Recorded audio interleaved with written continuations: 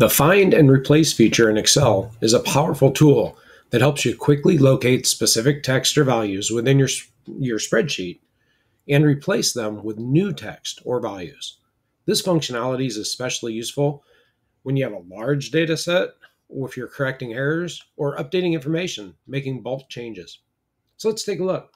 So we have our data right here, but we might notice that every time we see billboards, we need to change that just because we don't like how that sounds.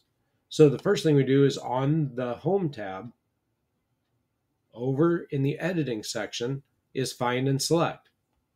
So if we click on that, we have find. So I'm going to click on find and it opens up a window. So I'm going to find billboards.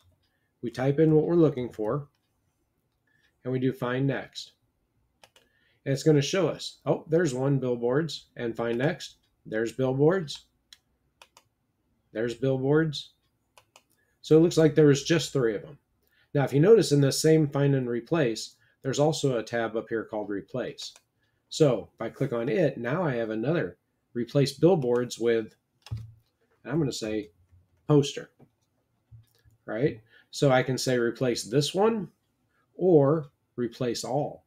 So now if I do replace all, it's going to replace all of the billboards in here with poster. All done. They made three replacements. Whenever we're done with our find and replace, we can close. So we've replaced that word inside of here, but it works for other cells and data figures as well.